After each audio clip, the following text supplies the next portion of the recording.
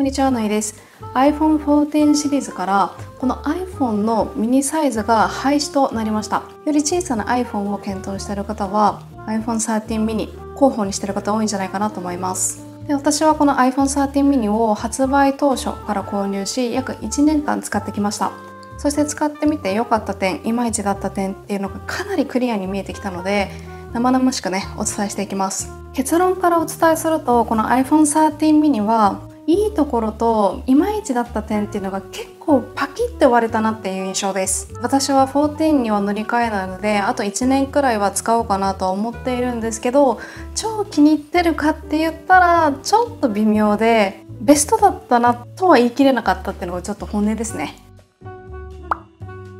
ここで前提としてなぜ私が iPhone 13 mini を購入したのかっていうところをね簡単にお伝えしていきます。一番はスマホ依存から脱却したかったっていうところですね。発売当初私は13 mini と iPad mini を同時に購入しました。小さい画面で長時間見るのって良くないなと思ったので基本的に調べ物とかはこちらに集約したいと思ったんですね。でここから iPhone mini のいいところっていうのがつながってきます。ミニにして良かったこと。まず1つ目が一番の目的だったスマホ依存からはもうほぼ完全に脱却できました。この小ささだからこそやっぱりずっと見ていると疲れちゃうんですよね。YouTube 見たりあとは SNS 調べ物をしている時に一定の時間を過ぎるともう疲れちゃうのでそこからやっぱりこうミニに切り替えるっていうことができたんですね。そして夜になったらもうスマホの電池を切って iPad mini で過ごすっていう習慣ができた。これはこの小ささだからこそ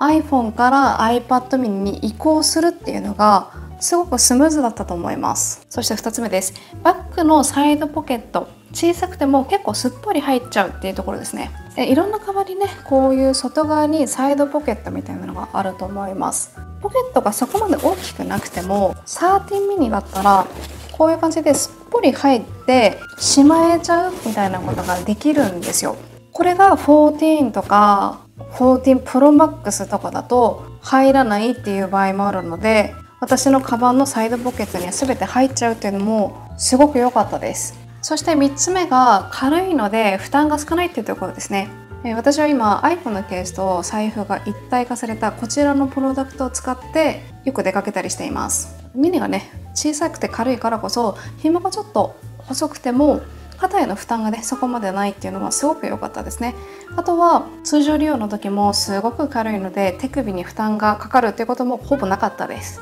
ここまで聞くとねすごくミニの魅力が伝わってくると思うんですけどなんで私がそこまでドンピシャにはまらなかったのかっていうのも結構理由あるんですよね。まず1つ目が外出時娯楽がねあんまり楽しめないっていうところです。よく iPad mini とかで読書をするんですけど家でミニで読んでてで先でねちょっと読み進めたいなっていう時やっぱり iPhone mini だと疲れちゃうので集中できません。スマホ依存から脱却できたけどただ娯楽はやっぱ楽しめないなっていう印象でした。そして2つ目です。コミュニケーションツールを使ってる時にちょっと 億劫に感じます。私は仕事上 Slack と LINE をねよく使います。仕事の指示内容とか修正依頼によっては結構長文で来ることってあるんですけど iPhone mini だとやっぱり画面が小さいがゆえにスクロールするのも手間だったりあとはネガティブな内容が来た時にちょっと心がぐさってきます。画面が大きくなった時にはそこまでとはならないんですけどやっぱりこの小さい画面で見るからこそスマホからこう距離も近くなって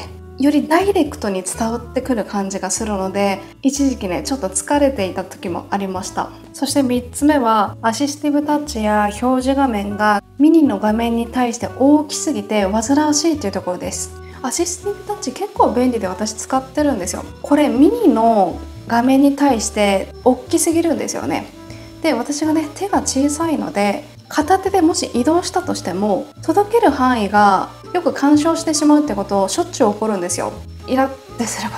と多いんですよね。で私はアプリのね表示をさせたくないのでこういった形でホーム画面カスタマイズしてるんですけどそうすると上にねこういった画面が表示されます。これは電源を入れるたびにリセットされて表示されるのでこの13ミニに対する表示面積がちょっと大きすぎるかなっていう感じをします。でこの1年間すごく思ったことがあって果たしてね13ミニってそんなに小さいのかっていう話ですね。私が過去 5S をね使ったことがあるのでそれに比べるとそんなにすんごい小さいですっていう話でもないのかなと思います。で私ってやっぱりこう手が小さいのでこの iPhone13 mini ですらも片手で操作するっていうのはちょっと不安なんですよ。なので必ず両手を添えて、まあ、いじったりするんですけどそうなると別に13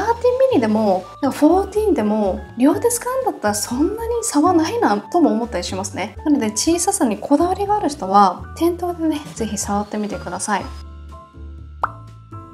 もう今回のね発表会を通して思ったのは別に14に機種変するまででもないかなっていうところですね。すごくマイナーアップデートだったので13ミニから、まあ、14とかあとねカメラが好きとかこだわりがあるっていうタイプでもないのでもう13ミニで別にいいやっていう感じなんですよね。そして電池持ちねすごく良かったんですよ。電池容量がねなんと99%なんですよ。すごくないですか？これは日頃から iPhone13 mini 充電を切ってまあ、iPad mini こちらに集約するような生活をしたからこそここまでね実現できたのかなと思ってます。まだまだ全然問題なく使えるのであと1年はこの iPhone13 mini を使い続けようかなっていうふうに思ってます。はいというわけで今回の動画は以上です。少しでも参考になったよって方はチャンネル登録そして高評価押していただけると私の励みになります。次の動画でもぜひお会いしましょう。以上のいでした。